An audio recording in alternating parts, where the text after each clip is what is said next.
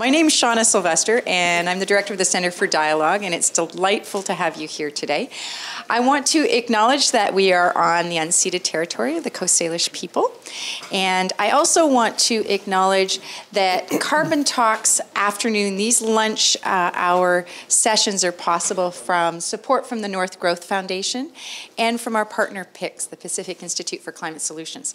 So, in addition to those of you that are here, there are people uh, also connected to us through webcast. And I want to let people know there's a couple of ways that you can ask questions. This is always a dialogue portion to what we do. So, I will recognize people here as you as you want to ask questions, but I will also go to those on Twitter. And so, if you are tweeting your question, it's hashtag Carbon Talks. Hashtag Carbon Talks. Well, I am thrilled to be leading this session today and getting us started on district energy. District energy is something that Carbon Talks has been working with the City of Vancouver and has been looking at for years and also worked with the uh, City of Calgary on. So it's an issue that it's not new, but it's increasingly important, particularly as we look at GHG reductions in our cities and what, 50 53, 54% of our GHG emissions come from buildings. So district energy is a really important part of the whole uh, transition to a low carbon economy. And we have two wonderful people with us today uh, to help us understand uh, the whole discussion about the role of the private sector in district energy. And today we have Trent Berry. He's the principal for Reshape Strategies and the chair of Creative Energy Canada Platform Corporation. So Trent, now neither Trent nor Hart want long introductions. So I'm not going to give long introductions, but I am going to say that I've known Trent for years. I've known Trent um, is somebody that has worked in the energy sector for years and years and years, and his his depth of understanding and under, of district energy is very very deep. And he was also very helpful with uh, creative services uh, gaining the the um, contract locally for the um, central heat in Vancouver. So Trent is going to be followed. Trent's going to go up first, and then Hart, uh, Starr Crawford is going to speak. Now, I heard about Fēnix Energy so many times across Canada and in other jurisdictions. I couldn't believe it. Everybody kept saying, Have you heard of Fēnix Energy? Have you heard of Fēnix Energy?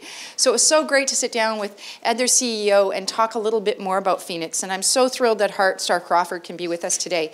He leads the project development and implementation at Fēnix Energy. And he managed the design and installation of the world's first geo exchange retrofit in an occupied high rise talk to them about how they do their drilling in very dense places. Um, I, am going to keep it short as promised. So each person is going to have 10 minutes. For those of you, how many of you have been to a carbon talk before? So you know we're pretty brutal on time. Um, and, that, and, and the reason that we are that way is so that there is real opportunity for you to ask questions. So think about your questions, and in about 20, 25 minutes' time, we'll be back to you for the dialogue portion. Over to you, Trent. Thanks. Uh, I think I'm mic'd, so. So thank you. Um, I always struggle with this definition of private versus public. So how do you switch it? Oh, there you go. Um, so um, how many people from the, what they consider public sector? Oh, small. So that means by default the rest of you are private sector or unidentified, undecided. Okay, well, I struggle with those definitions, and um, what I'm going to do, I'm going to leave you with, I think, three key or simple messages that, you know, district energy is, in my view, public infrastructure. I've worked on it from cities' perspectives, and I've worked on it from private developer perspective. But regardless of how we cut it and deliver it, it's public infrastructure, and I'll explain that in a second. Successful systems require partnerships. It doesn't matter whether it's the public or private sector, it is a partnership um, both ways. And regardless of the delivery model, and I'm going to uh, highlight that, a lot of what happens, I find, is that when we say, oh, the private sector can do it, then the public sector kind of goes to sleep and uh, leaves. And that's, that, it's not going to work. You're not going to get district energy implemented. Now, I'm going to start. We can get back in the conversation. I'm just starting from the premise that let's assume we've identified a business case or an opportunity for district energy, which means that there's private benefits and there's a bunch of public benefits. And I'm going to talk a little bit about delivery models.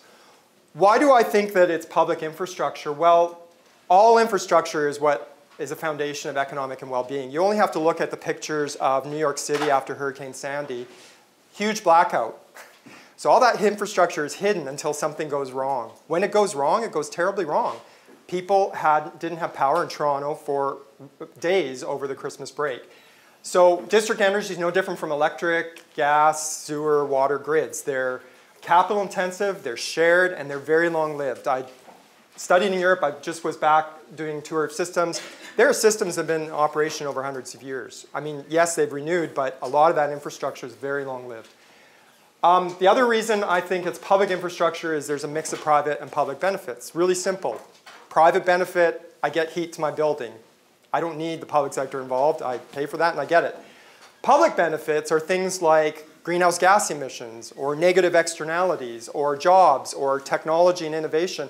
Or increasingly, I think today the conversation internationally is more and more about energy security, and that is becoming a big conversation, whether it's earthquakes in Japan and New Zealand or storms back east, um, other exogenous events. We're starting to realize how precarious our systems are. And so that's part of the conversation is how do we internalize those security.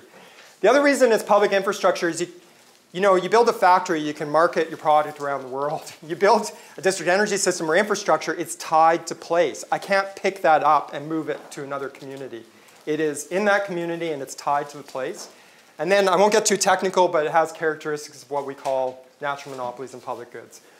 I'm just peppering with some things, hopefully, that'll stimulate conversation. So I'm going to go fairly fast. This is um, a framework that I sort of, we developed that just kind of outlays our view of it's a continuum. There's no sharp line between public-private, so it's a continuum. At the very top of the continuum, you have 100% publicly owned and delivered. We have a great local example of Southeast False Creek, and that's an example, it's inside a city department. We have another great local example of Lonsdale Energy Corporation, and it's actually a subsidiary of the city government. Both of those 100% public. The other really simple one, 100% private. I'm chair right now of Creative Energy, which is 100% private regulated entity. Other examples locally are Universe City, Corix, Fortis, all own uh, district energy systems. What I actually find really interesting is the middle space and what I call hybrid or shared ownership and governance models. Because you don't just need ownership, sometimes it's just shared governance. We get those kind of confused. So examples not many examples of cooperatives, and that's very unlikely with very capital intensive infrastructure, but there are a few. Um, concession agreements, uh, City of Richmond's actually working on a concession style agreement. You can have split assets where one uh, private sector maybe owns generation and the, and the city owns distribution, for example. Um, Enwave used to be an example of a, a public-private joint venture. It's been sold, so now it's 100% private. Um, and there's a few others there. So I don't want to belabor that, but that's just give you a sense of the continuum. So regardless of whether it's delivered by the private sector or public sector, I like to separate out the conversation. There's a whole bunch of tools or supporting policies that cities have to bring to bear.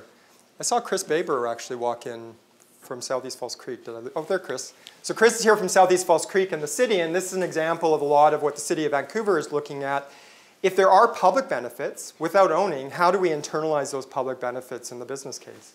So leadership and co-development is really important.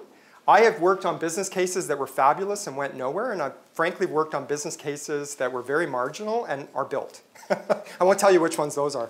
Um, but you know what the difference was? Leadership and vision. It doesn't matter how good the business case is. I've seen communities who fully just rejected stuff despite the business case, and I've seen others go forward despite, frankly, a tenuous business case. So leadership, co-development, the dialogue, a lot of what Shauna and her group is doing here.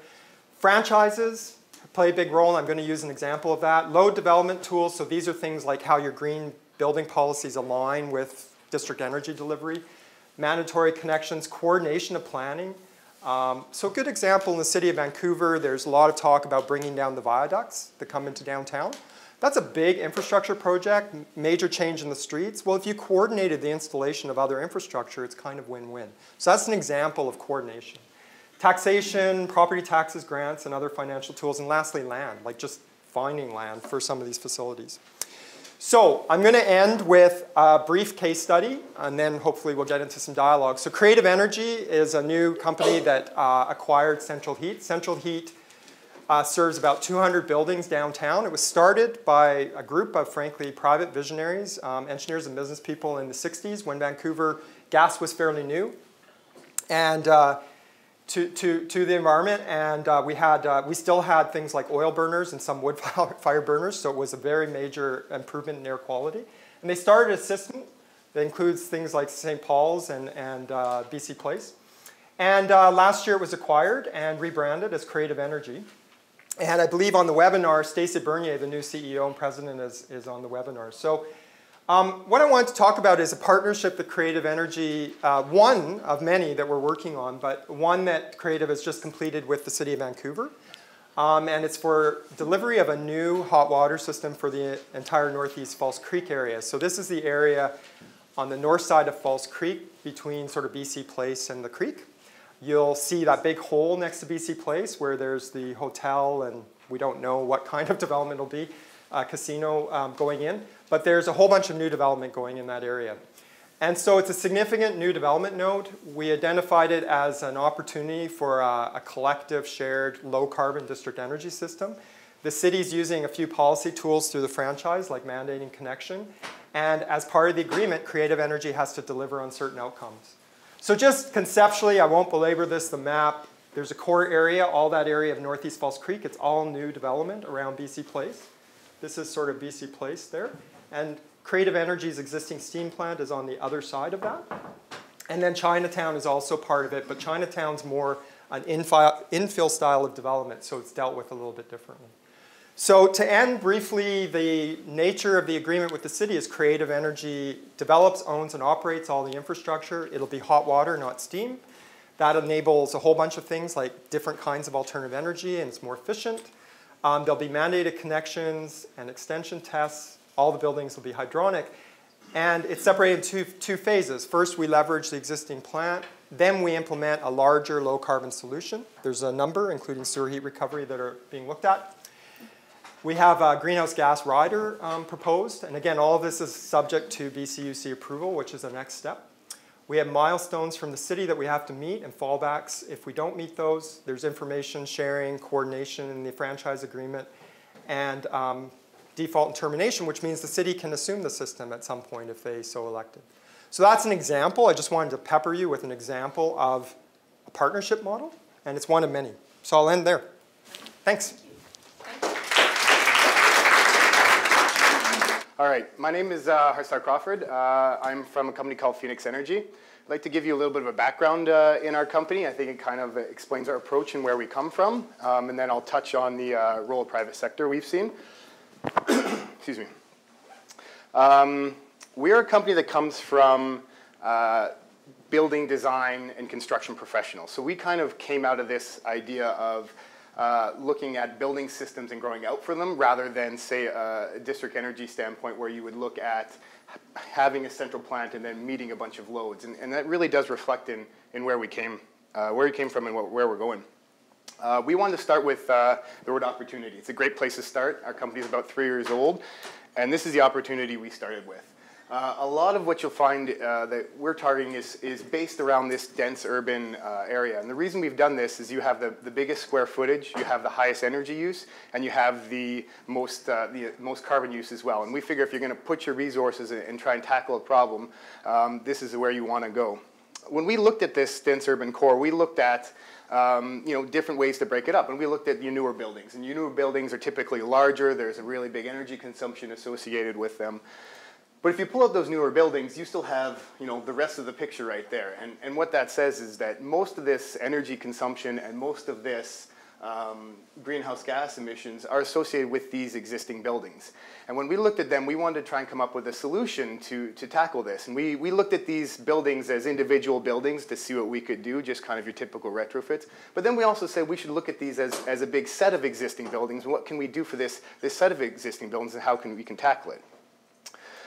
When we looked at the individual buildings, we kind of came up with uh, geothermal. We said, can we retrofit these buildings with geothermal? And the reason we did that is there's not a lot of opportunity to roll out you know, low carbon solutions in a dense, dense urban core. There's not a lot of land available, you know, there's not a lot of room for solar panels and wind, and we said, well, what would it look like if we put geo in there? All these buildings have ground underneath them, there's opportunity. We can use that ground as a thermal battery, you know, when we take the excess heat in the summer, put it in the ground, and when we need the heat back out, we'll pull it back out in the winter. So we figured that's a viable option, that's something we could actually see, we could crunch numbers, and, and it was something that could work in, in certain cases. We said, okay, well, what are we gonna do when we uh, wanna connect all these buildings together? And we started looking at that. And what we said is, okay, say if we had that energy right there, what, what, how are we going to connect all these together? What does it look like? So we, we coined the term network energy system. And what that is, is it's taking that, that first geo plant that we built and then setting up an infrastructure around that. And that's looking at buildings that are in the same area, looking for a complementary load profile so that we can connect these buildings together and, and, share that energy. And then also a load profile that would allow us to leverage that, that renewable energy asset that would be under one building and connect them all together. Um, what we found when we did this is we could start to get uh, really good you know, energy cases and really good economic cases to tile these buildings together and kind of tackle that opportunity that we saw when we started out. Now, we like to draw a distinction between macro versus micro. This is just our own terminology, but it's a way that we look at it. And when we think of traditional district energy, we would call that macro. That's, we're gonna develop this whole big area. You know, this is our big long-term plan. We're gonna have these kind of loads if we put in this type of system, and then, you know, you, you, you get it going, and then you slowly build out, and you fill in all the loads, and you have a nice viable district energy system. We think that's an excellent model and a really good way to go, but it doesn't necessarily apply to every, every possible scenario, and, and it didn't necessarily make sense in the scenario that we were looking at. So what just described is what we would call micro, and that's where we would do a thermal energy project in one location that kind of made sense. We do it with one building or maybe a couple buildings, and then from there we would grow organically out of there. And so rather than you know design our district energy system and bring online to meet it, we would have our little mini microsystem going, and then just bring on the loads as they make sense and add to that district energy based on what we had in the surrounding area. And that doesn't mean that you wouldn't, you know, if you were building a new building, you wouldn't necessarily tie into it and, and bring new buildings in. And you could definitely uh, you know, pick how you design that building to bring in a complementary load profile and make it better. But it's kind of like a bottom-down or a top-up approach. I want to give a quick example. So this is a project we just did at 777 Dunsmuir. Um, it's actually kind of two buildings together. There's a uh, tower on top, and then there's the mall underneath. And what we've done is we've connected those two buildings together and put a geofield underneath. We're sharing energy between them. Basic principle like I described, heat goes down into the ground in summer and then comes back out in the winter. Um, but what happens also is when we look at this building as a whole, they still have excess energy. All summer long, we're still dumping uh, energy out into, the, uh, out into the air, and this energy has the potential to connect somewhere else. So as we, you know, we did our initial analysis, we also looked at the surrounding buildings in the area and uh, you know, saw that there was potential to you know, connect together these complementary load profiles. So this building just finished in the last, uh, last month or so, so we're currently collecting all the energy data, and then once we get this real life energy data and see when we have our energy and what we can do with it, there's the opportunity to go out there and see what we can do and, and, and potentially bring on some new, uh, some new buildings. Another project that we're working on, this is more in the new construction, is uh, solo development. So this is four high rises that are being built in Burnaby. Um, each high rise is, is its individual parcel and each is building, uh, being built on its own with its own mechanical system. But what we've done is we've looked at what happens when we interconnect them together. So although each building can operate on their own, when we connect them together, we can now take those opposing load profiles and share energy in between them. And also each one of the uh, first two phases, which are currently under construction, have geofields underneath them. So there's an opportunity to leverage that geofield in one building and use it in the other if uh, you know, it's not currently being fully utilized. And so in this way, we've got our, a locally sourced renewable uh, energy sources now being shared between these buildings. Uh, you know, right across the street is uh, Brentwood Mall. I think they're going to be building upwards of nine towers there, and that's just something that they can continue to connect in and grow out that way. Now, I'm going to kind of tie all this in and, and, see what we've seen in the role of the private sector within uh, the projects we've been working on. Uh, you know, we've seen, and Trent touched on this, the private sector do absolutely every role possible in district energy. It can be completely done in the private sector, it can be, can, be completely done in the public sector. Um, where we found is that uh, if there is a uh, viable business case, we definitely got a lot of interest and we, we have found that there's always the money available. So if the business case is there, there's always money available. So there's never really ever an issue of, of money when it comes to these type of uh, thermal projects. And the other thing that we've found is expertise. Um, you know, if a municipality has done one district energy system or two district energy systems, they've done one or two types. And there is really no magic bullet solution. There has to be the right solution for what you have going on. And so that expertise, you know, someone like Trent has looked at countless district energy systems, and up front, he can bring a lot of expertise. Uh, we've worked with some of the bigger utilities like uh, Dalkia Veolia, and they, um, you know, they own dozens and dozens of district energy systems. So when they come to a new project, they can call up their buddy who's halfway across the world and say, I'm doing the same type of district energy that we already have. What's it like operating? What are the lessons learned? What can we pull from it?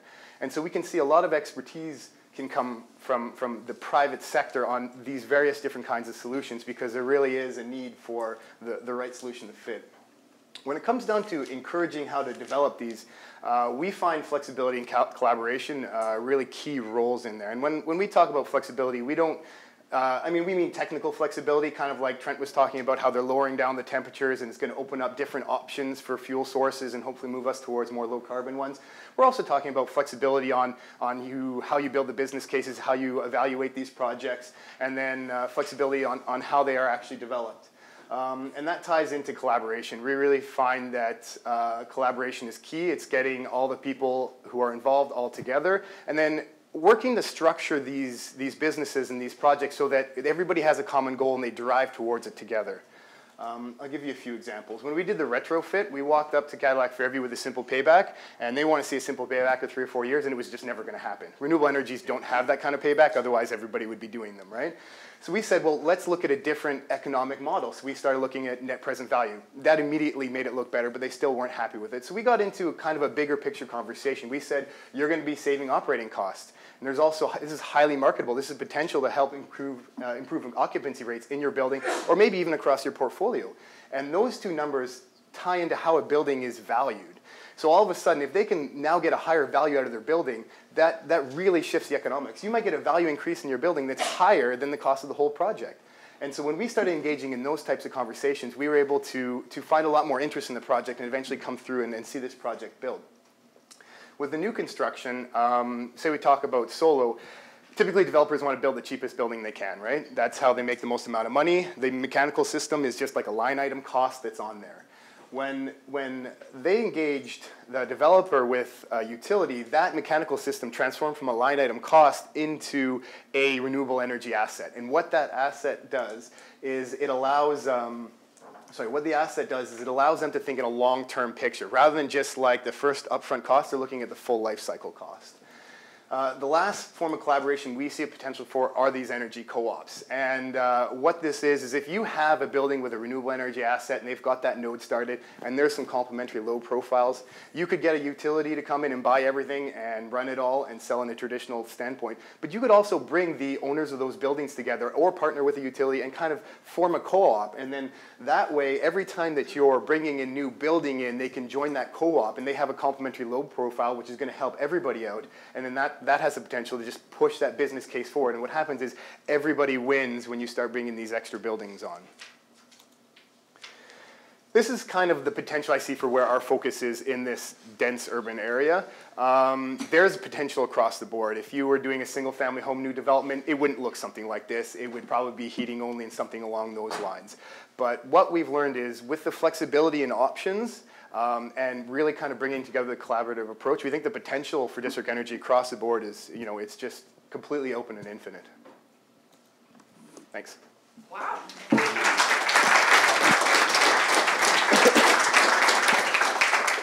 Can you hear me? Is the it's working good. Great. Okay, so let's get some questions going for our I'm already seeing Keen. Let's other questions.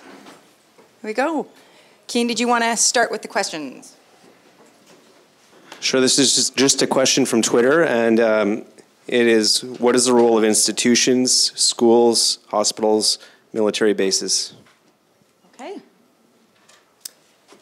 Um, maybe I'll start because I've worked on probably half dozen systems with institutions like Children Women's, UBC, SFU, um, non-elementary schools. So they're big loads. Um, my partner, uh, Gerard always calls them the LeBron James of district energy. the famous uh, basketball player. So they're big loads. You think if you're building, I don't like the concept, but let's say you're building a mall, you want anchors. Well, it's the same thing with district energy systems. So those institutions are large anchors. But one thing everybody forgets, and one of the reasons I like to think about the district energy business case, if you look at single-owned institutions, like all the hospitals in this province, every university in this province has its own district energy system already. That's actually very telling of the business case because when there is no mixed ownership, they make a rational decision and they own and operate the entire system and they've, it's universally selected as collected systems. So they get the business case generally and they're very useful to, the, to, to building these systems. Hart, did you want to add anything? Um, yeah, I, I, would reiterate uh, what Trent said there that um, even when what, what, I was describing, looking for that first little project to start that node, it, it does have to be a uh, you know really energy intensive. It helps the business case along, and, and a lot of these institutional uh, projects can be like that, uh, and uh, they, they can form a really good base for, for going forward and, and expanding beyond them. And I think, uh, like Trent said, um, the why I, why we see it as such a universal solution is because this business case is very strong. You really do get economies of scale, and it is really about finding that that right solution. Now, whether that solution is uh, leveraging an existing infrastructure they have on there and potentially growing it, or uh, taking a, an outdated infrastructure and then renewing it and building into something else, uh, there's there's definitely potential there. I'm gonna go ahead. One, two, and three. Here we go. I have a question about finance. Here, sorry, I'm gonna actually have to. Okay do this because we have webcast. Thank you. Uh, my question is about finance. Uh, you mentioned simple payback doesn't really work. And I'd just like you to elaborate on the parameters of what doesn't work. Is it the bank requirement for a seven or 10 year payback period, or is it the life cycle of the mechanical equipment, which may be 25 years? Could you elaborate on that, please?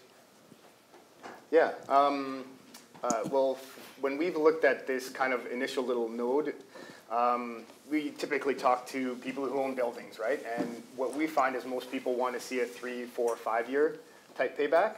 Um, and that's just very simply the cost of the infrastructure and, and what it takes to roll over it. And there's good reasons that they have that. They might not know what's going to be going to be going on in, in 10 years. Maybe that building's going to be torn down in 10 years and they need it to pay back in five or something like that. Um, so it really is done case by case. Um, when we looked at uh, when we got into the bigger conversation, they, they, I mean, the project didn't pay back in three years; it never did. But they they relaxed it and looked at other options, and um, that's where how we went forward on that. Well, I wonder if you could um, maybe elaborate philosophically how we never get a climate carbon solution. Yeah, I'm gonna, I'm gonna, we've just got another. We've got three questions, and we'll come back if we, we get a chance. Here you go. Hi, just a quick question. I'm interested in the interconnectivity between micro and macro systems and if they are ever like mutually exclusive, if you can discuss a little bit on that. Uh, I mean, from our viewpoint, definitely not. I mean, 777 Duns Dunsmuir is supplied heating energy from creative energy. Um, so the, uh, the, the recovery in the geosystem is not designed to do 100% of the load. Um, when we first brought the project forward, there was a consideration of maybe putting boilers in. Uh, Cadillac Fairview met with Central Steam at the time, and they worked out a business deal where we'd be able to stay on uh, the steam. So there are complementary right now. There's the opportunity for it to grow out, uh, grow from there, and that building will, you know, the peak loads uh, will still be met by Central Steam. If I could just add to that, I think there's no technical issues. Yeah. Um, Telus Garden, which is being built around the corner, has a, a block scale system that's interconnected with Creative and a data center. Um, it is designed to enable future introduction of GeoExchange. It wasn't economic in the first phase. It didn't make sense because there was more excess heat year round, so you don't need a battery. But what I would say about that is there's technical feasibility and there's economic feasibility. And you don't, so competition is really good, but there's a point for competition, and then there's a point where you get on. You don't have sunk investments competing with new investments. So that's where you have to get careful, and that's part of the role of government. That's why we have regulators. You don't, you don't. Um, sorry, and I look to the BCUC. We have some representatives here. Um, that's why you have a regulator to look at: is this economically rational? Because if people are just avoiding sunk costs, uh, that's not in society's interests. We've got a real serious climate problem, and we don't have enough resources to be spending them on doing dumb things. So we have to look at it, but yes, there, there are lots of situations where these can be made economically compatible, um, but somebody has to look at it uh, with a big picture. Yeah, collaboration is definitely key there. Thank you. Uh, this is really exciting. Uh, our strata is on district uh, energy from Central Heat, which is now Creative. Um, I've got two issues with it and with furthering uh, this process. Uh, the first is our residents basically see the heat as free because it's included in their strata fees. And so they have no incentive to conserve energy. And so we have some, some who never turn on their heat, but others who keep it at full blast as, as high as they can all the time. Uh, can these systems, can a hot water system or a, a steam system be set up or retrofitted so that there are individual meters? That's the first. The second is we're dealing with a monopoly here. If we don't like creative, and if creative starts raising its prices, we don't have a choice. We are tied to you as long as this building exists. How does that get dealt with? Because that's not healthy economics. Some um, tough questions there. Yeah, good questions. I don't want to get too far into the submetering except to say, and that was a term, submetering. So what you're talking about is metering within the building, individual suites. Um, and it's absolutely an issue. What's, um, what's unfortunate is we actually need a conversation about it because there's some more creative ways of dealing with it. Um, one of the most obvious solutions is you just meter everything. The problem with heating is it's very expensive to meter. So if you look at the cost of the meter relative to what you're metering, um, it'll make you feel good because your neighbor's now being charged. But the reality is that we've now paid more for that meter than all the heat that'll be metered by it for the next 10 to 15 years. But the good news is there's really innovative, creative ways of solving that problem. There's two main uses of heat in suites. Domestic hot water, which you use for all your showers, uh, wash and all that. That actually has more control. Like people can control that a lot more because how long do I take a shower? How often do I take a shower? But you know, how full my loads are and all those kinds of things. Um, that's what we call elastic. People can control that. Well, domestic hot water is actually cheaper to meter. It, you just need a flow meter. We don't need an energy meter. You just meter the flow. So in fact, what I find ironic is a lot of developers jump to we need full suite metering when paradoxically there's a really cheap interim solution, which actually looks a little bit similar in terms of the amount of energy metered as the base case with uh, electric baseboards. But the other examples are for your, your issue is sometimes just technology. So an example is UBC has a student residence where when a window is open, the heat can't be on. You have choice, but that's not one of your choices. so, so, and in a way, a lot of people say, well, that takes away my choice. I'd like to have the window open and the heat on. Fair enough, but the reality is a lot of actually people would just prefer not to have to think about it. And it's, in modern buildings, that's not a hard thing. Now, retrofit's different, but in a modern building, we can design that from the get-go. It's an elegant solution. When you think about it, they can't change their facade, they can't change their windows, so what else can they do? Well, that's a very simple one. We don't need an expensive meter. And then your last question, and sorry, I'll turn it over, is just that's, that's one of the roles of the BCUC. They are there looking at is the economic case and the public interest, and that's a whole other conversation, but uh, I think British Columbia is very ahead in terms of the use of the regulator in this space. So, does that help? Yes. Sorry, did you have?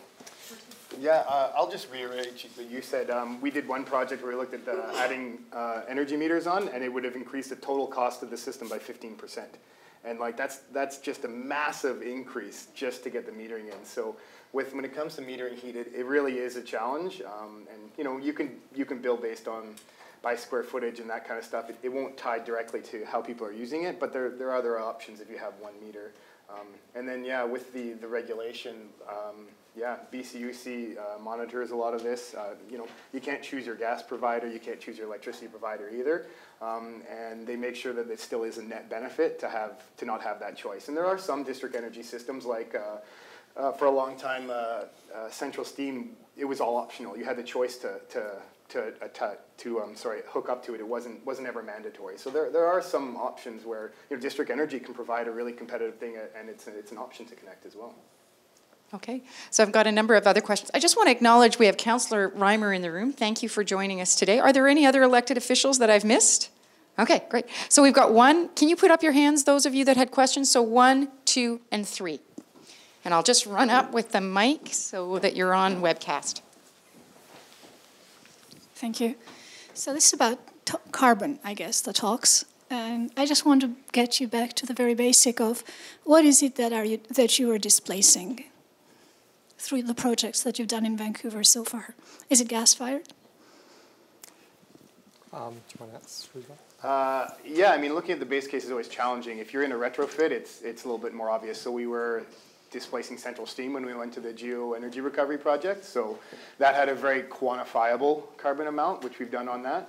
Um, What is the fuel? What fuel are you displacing? What's the fuel you're oh, it's, it's natural gas fired boilers that fire the steam plant, and then we are running more electricity um, that goes in there. But the electricity in this province has a lower carbon impact than the gas. And in terms of new technology, are you looking at geothermal, heat only, or is there other technologies that are being used? Uh, everything that we've looked at is based on heat pump technology. So there is always an electricity input into it um, in, in that regard. Uh, you know, we look at air source heat pumps. We'll look at lots of different ones. I mean, we originally came out of a geo end of things, so that's why we looked a lot at geotechnology. But um, really, what we like to see is flexibility in the designs of the district energy system, so they can work with whatever new energy sources that might come along. I could just follow up too, like you have to think of district energy as a network and something that supplies it. So it's like electricity. The electric network is the same regardless of what's going into it. And with district energy, there's some variations, but it's a platform that enables us to use a whole variety of technologies. They're not, and I can show you charts, like in Sweden, they've had massive technological transformations from 100% oil to a variety of biofuels to heat pumps to industrial waste heat. It's always context specific, and if we can internalize carbon in the business case, we're looking for the least cost way in that application to reduce carbon. And the examples, you know, Southeast False Creek does sewer heat recovery, uh, waste heat from industry, bioenergy. Um, all the heat pump technologies, they do use electricity, but they use, you know, a third of the amount of electricity as just conventional resistance. And we still use a little bit of gas because that's the cheapest way for all this peaking and, and backup. So does that kind of answer it? Okay. Um, I have a question about the complementary loads. So um, I am just guessing or assuming that most building needs heating in the winter and cooling in the summer. So other than large data centers, um, how do complementary loads work? And then uh, my second question is related to Michael's question. Um, can you like regulate a user, end user, to just use between I don't know 18 degrees to like 22 degrees to set their thermostat to have a regulated kind of temperature? Like, has that been ever discussed? Um, so with load profiles, if you have a different type of, like very basic, if you have a different occupancy, you're going to have a different load profile. Um, so if you have a residential, you're, you know, and you're in a shoulder season, you're, it's kind of, you know, not super hot, not super cold. Um, that residential building is probably going to need heat, but your office building will probably need cooling because it has all the people in it and all the uh, computers and all the equipment in there, the lights adding heat. So uh, when we look at load profiles, we'll look at hourly load. So every hour of the day, and you can uh, you know, you can figure out what they are either through metering or through uh, simulation, what that's going to be. And, um, you know, you can plug in different parts. Sometimes in, in the same building, you'll have different load profiles. One of the buildings at Solo is, um, it's residential on top, uh, office in the middle, and retail on the bottom. And they're all going to be occupied at different times of the day, and they're going to have different, different loads along those lines. So it's typically based on um, you know how how it's what the occupancy is, but then also how the building itself is designed, what the mechanical system is, and what the building envelopes. Right. If you have a really good envelope, you might have a building that's uh, you know at the right temperature, or maybe needs cooling. And if it has a really poor envelope, it might need heating because um, of what temperature is going on outside, the position of the sun, and, and lots of factors. Yeah, the example you used was a seasonal one, so summer versus winter. And another good example is like hospitals have a fairly continuous year-round hot water load. So you put them on a system and you start to see some impact. But um, one of the rules of thumb in this region, and it's consistent everywhere, like if a university builds a district system, if you built building by building and you added up all the boiler capacity, let's just use that as an example, that total that you would need would exceed the amount in a central plant where you share it by more than 15%. And it's what we call low diversification. Even if it's the same type of building, they're just, they don't behave in the same way. So the amount of capacity you have to install, we often reduce it by 15% when you centralize. Then you get mixed use, then you get seasonal loads, and you can actually even make that better. But that is, that is clearly one of the, the ones. I'll just answer your last question about um, can you constrain people? It's really funny. My parents live in a strata that uh, has hydronic system, and one person at the very end wants really, really warm, like it's like going in their tropics. And they can't because the system won't get above a certain temperature. That's just the reality of how it was designed. So you can definitely design it so there are some limits, but I think you're getting into an era of like you can be overly prescriptive and people don't like so so there's hydronic systems have limits. You can't have a tropical greenhouse in your apartment, but you can't probably restrain it that much without getting into questions of paternalism and that kind of thing. Does that answer your question? Question over here. Um, just had a question if you could comment on the differences in the role of the regulator like BCUC between public utilities and private utilities, and then maybe some context in terms of what the trends are like that you've seen in Europe or in the, in the U.S. in terms of in terms of the private sector developing more of the district energy systems? you sure? um, well, first of all, we are a bit unique. Um, every jurisdiction in the world has a public utilities regulator. Um, it, its role varies a bit. And really, public utilities regulators were developed because we wanted the private sector to de deliver these public utilities but they're monopolies, so we needed a regulator. That's really how it evolved. Um, in jurisdictions where they were publicly owned, they sometimes just didn't have that step. They just assumed that through election and governance that it was effectively a regulator. BC is unique because our public utilities regulator actually regulates BC Hydro, which is publicly owned. You can, you can quibble about whether they really regulate them, but anyway, they do, and that's looked as a model. Uh, Quebec replicated it for example. So um, I'm a big believer in checks and balances, and that's an example of a check and balance. But when you get to the private sector, you definitely need independent oversight. In the case of creative energy, there's actually two forms of oversight. There's a franchise agreement with the city, which has certain requirements and issues, and then there's the role of BCUC, which is more an economic regulator. It's a great model, and it's so great that cities like Vancouver and most recently Surrey, who've set up their own district energy systems, they've actually emulated it, so they're exempt under the legislation, but they've emulated it with their own independent rate review panels. So they still regulate it by council, but they've, they've added this extra bit of oversight and, and look at it, and you bring professionals in. And I'm, I think that's an awesome model, and I think it's a testament to how well some of that oversight works in the province. Does that answer your question? Okay, so I've, I've got I've got a question. I'm gonna I've got Mark that's gonna ask a question, and then I have a question for each of you. What's the question you really want to ask Hart? And Hart, what's the question you want to ask Trent? Okay, just to get things going here. And I've got Mark, and then we're gonna come back to you.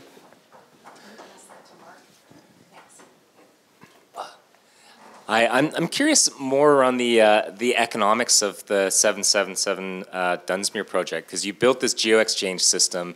Um, but you like like why does that make economic sense given the uh, the costs of doing that when you can basically connect to the existing district heating system you know which has like all these amortized costs and all that so how, how what was the kind of decision making process around that like how does this make economic sense um, I mean it still had a reasonable payback on it it just didn't have a three-year payback and basically when we worked with Cadillac Fairview they were open to going beyond their typical three, four, five year payback because of the type of project it was. And the reason they pushed it back beyond that is because of say, you know some of the points I mentioned above. And and they really do want to push as push the envelope, you know, like there was, we, we approached a lot of people and nobody wanted to be the first one to do this. This has never been done in this way before. And, and they, they, they realize that if they really want to push the envelope, they have to, you know, take a little bit more risk and, and be a little bit more open. Now, the, the project did not have a 25 year payback. Um, the equipment doesn't last that long, some of it, and it would have never made any sense. But because of those other, um, those other you know, basically there was a willingness on their end it's kind of the leadership that, that he was talking about. They, they wanted to do a project, and because they wanted to do a project, we were able to, to, to work on, you know, different financial metrics that would work for them. So it was still a reasonable payback. It just wasn't, you know, super short, like say changing out a light bulb. Okay, so Trent, what's your question for Hart? Well, actually, I'm going to ask a follow-up question because I, I like that one. But I'm curious because I see a lot of business cases. So um, in this province, we've had hydro rates, rightly, it just is the reality of costs, rising, you know, 10, 15, 30% in the last few years and, and, and committed and projected to rise more. And in fact, even at those levels, they're under recovering. So in your business case, when you're looking at the economics, what did you assume for future electricity prices? Yeah, that's a very good question. So we started this project a few years ago when electricity prices were very different. Sorry right? for the tough question. No, no, it's, no, it is. It is a good one. Um, before they finally decided to pull the trigger, the rate increases were announced. So all of our economics got rerun with the higher utility rates on, on electricity and also some of the costs from central steam had been going up as well. So all of those numbers got rerun again and they were, you know, still in the same same area. There was a, there was a lot of actual different updates that went to that. Um, you know, the uh, cost of carbon is a, you know, we had some carbon allowances in there and we had to, you know, update and change a lot of those. Um, we do a sensitivity analysis based on different utility rates mm-hmm. when we do in uh, we, we, we have a couple different economic models but the simple payback one we, we ran it with a lot of different um, different utility rates so that they get an idea of the risk that they were taking so that's kind of how we I'm worried now because I now asked you, my you were, question you first. Asked, you asked your okay, Hart. yeah, this is your chance. Something challenging. yeah. um, I mean, the big question to me is if you actually like how long do you think it will take to get central steam to like a low carbon solution? Or like you know do you really feel that we're going to be able to push that way? And like what kind of realistic time frame because it's such a huge undertaking. It's not like a year long project. It just it isn't right? Mm-hmm. to kind of get a feel for your perspective on that. Yeah. 2020 um, um, no, that is that is the working uh, hypothesis. But you know, I, that's a great question, and I really appreciate it because if you look at all of the largest cities, so I was just in you know, Berlin and Munich and Hamburg, if you look at those cities where, why do we live in cities? Shared infrastructure, big projects, that's just a reality. And all of them have major commitments for massive reductions in carbon. Munich has a commitment to 100% renewables and zero carbon by 2050. And the only way they can achieve that in the dense core is through these district systems that they've already implemented, and now they're going through the next wave, which is to decarbonize them. So the good news is that Creative actually created the network and aggregated these 200 buildings, which is a massive opportunity because if they were 200 separate buildings, we would not be having this conversation. The next phase is how do we decarbonize the heat source? The good news is it's an old system with a, an old plant, so we're at, a, we're at the decision point. And um, yeah, I would say the, the plan is in the next four to six years, um, actively searching for those opportunities. And it'll be a mix of large as well as some smaller systems, which is what all the Europeans are doing. Does that? Yeah. yeah. that? yeah. That's the thing that's very. You can hold me to, to that, well, right? There's not, well, there's not. I know that you don't have the solution. If we had the solution, apparent. Right? Maybe I, I thought we'd no. spice things up there. So we have a question from Twitter. So this question comes from Vancouver Community College. Um, they're asking, for those of us on an old creative energy central heat system, how can we work together to reduce our GHGs? Uh, great question. Well, there's some things that the buildings do themselves, right? All that creative does is like Hydro, it delivers the energy. The buildings themselves are responsible for how they use that energy. So a lot of the older buildings can undergo retrofits and efficiency improvements and utilize the energy better. And Creative's actually working on programs to actually help with that process. Um, and then as customers, here's the tension, regulated. Um, you've got customers who want the least cost. If they don't have to pay for carbon, they're not going to pay a premium to decarbonize. And we've got other cu customers who want low carbon. So we have to work together on a conversation about how we manage those two conundrums, right? The, the ones who just want the lowest rate and will go to the BCUC and say this, it's gas, forget it, and others who really want to see the green. And that's a conversation we still need to have. I keep wondering if the BCUC wants to have any say on this. So we've got one, two, and three. Thanks. Um, it's my understanding that uh, I think in Surrey, you ha- the developer has to pay into the district energy system and put down a large capital cost to be involved in it, um, which then squeezes out uh, potentially other renewable choices in the future. Is is that true that they have to uh, invest in it uh, a large sum up front and be part of the district energy system no matter what? And then I'm wondering uh, uh, if that then starts squeezing out other choices for building solutions that might be more uh, energy efficient. Mm-hmm. Um, and, and you might have an insight on this, but I'll just say that mandatory connection, that's true. Uh, they don't have to make a direct contribution to the system. There might be a small connection fee, and I, I, the caveat is I haven't seen the last set of rates that went, but I'm pretty sure there is no major contribution. I think what you're talking about is that they have to design their buildings in such a way that's compatible, and that can, depending on the kind of development, have an upfront cost to the developer. But that's not, they're not contributing to the system. Uh, so that's the first thing. Your second part of your question is really interesting, and this is what I mean by competition.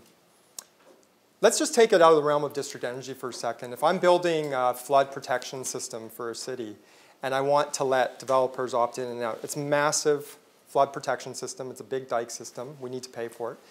And it has a public benefit. Um, do I let individual developments then at that point go, no, I'm going to build my buildings on stilts and all that, opt out of the system? Well, that's kind of the conversation. It's, it's collective infrastructure. Either we're in or we're out. And the second thing is that a lot of these systems are sunk. So even the strata, once they put in a geofield, the next year they're not going to go and implement a solar hot water, well, most stratas, maybe. Mm-hmm. but, but it's because it's sunk. It's a sunk cost. Why would they economically go and then put in a solar heating system on top? Because they're still paying back the capital. Well, why is that any different at the district level? We're paying back the capital for a renewable, a good system. And then we say, but I don't want, I want to be able to implement a solar. Well, you wouldn't do it in your own building. Why would we do it at a district scale? So if we want distributed building by building systems. We should have that conversation and then go that way. But you can't have both. You can't, you know, within limits. Either you're going to go big, going to go deep, and you're going to go collect a solution, or you're going to go distributed systems and really push on them. That's, do you have a yeah, I mean, I think you, you were right there. The, the added cost would be having to switch, switch from electric baseboards to hydronic systems. So it's not like they're, they're paying into it. They just have to build a building that's more expensive. Um, but on the flip side, sometimes in district energy, you can build a building that's less expensive connecting. Um, you know, if you connect to central steam, you don't have to put in a boiler plant. You got to save all that cost. Um, you know, what you do is you pay for it in a longer picture. So it doesn't necessarily cost more or less to connect to a district energy. It really depends on what your, your baseline is. And your baseline for a developer is electric baseboards, right?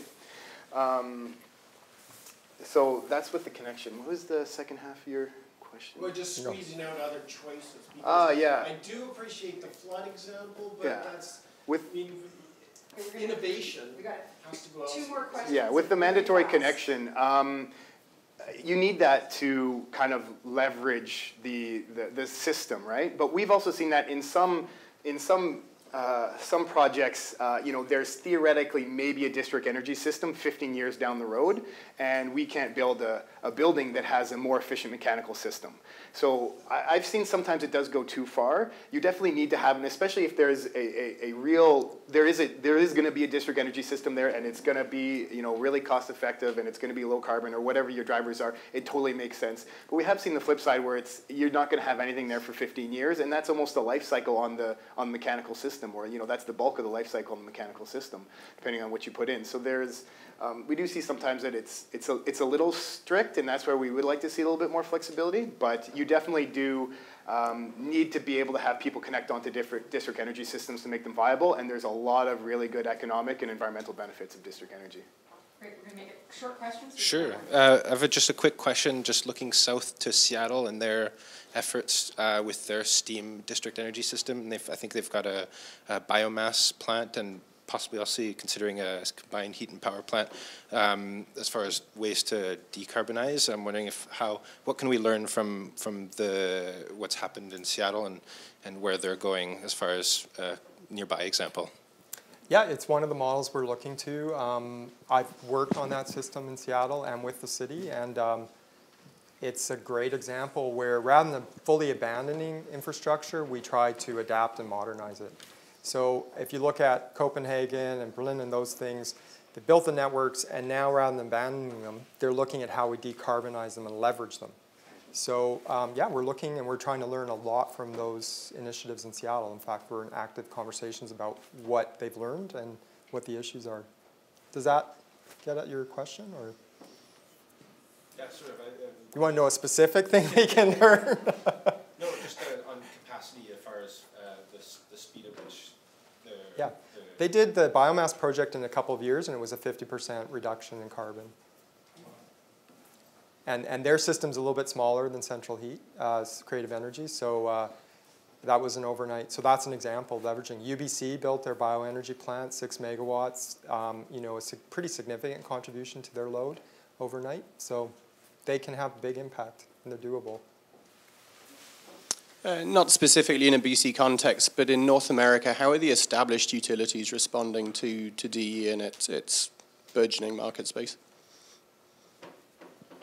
I missed the question. Uh, North American markets and how the established utilities, the incumbents that are already in place and have been so for a long time, how are they responding to, to this new approach to, uh, in essence, taking over or encroaching on their market share?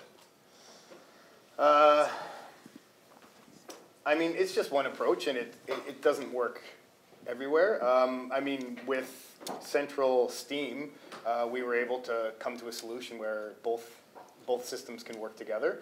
Um, and I think that's just part of collaborating and, and working towards a, a, solution. I mean, I don't think we should restrict a certain option or certain technology that's providing a really good benefit and you know economically, environmentally, um, you know, for the sake of uh, uh you know maintaining uh, the status quo, right? Um, so I think we definitely had to we had to had to push with that. But uh, in the end, we found them receptive, and we were able to, to negotiate a deal. I mean, this is the this is the first project where we have where there's basically going to be kind of two options working there, um, and that's the only concrete example we have, and we were able to find it. But it was, uh, you know, there was a lot of discussions, and, and you know, the existing contracts were between Cadillac Fairview and Central Steam. So, uh, you know, Cadillac Fairview is ultimately engaging this pot, this uh, this project. So they had to, you know, they they rewrote a contract over it. So there was, you know, a lot of different new terms and items and that kind of stuff, and uh, but they were able to get to a solution. So. Great. Did you want to add anything, Trent? Well, just that it varies, and we have to remember, actually, district energy has been around for a long time, and the first systems were developed by electric utilities. Most people don't realize that the way we got electricity globally is because they were able to capture the waste heat and use it. Otherwise, we would have had trouble building those systems.